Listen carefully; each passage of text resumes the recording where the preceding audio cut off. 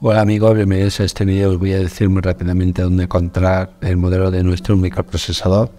Simplemente vamos ahí a Windows, pulsamos con el botón derecho del ratón y luego entramos a configuración ya, clic izquierdo. Vamos a ir a sistema, luego vamos a ir a abajo del todo donde pone información, clic izquierdo.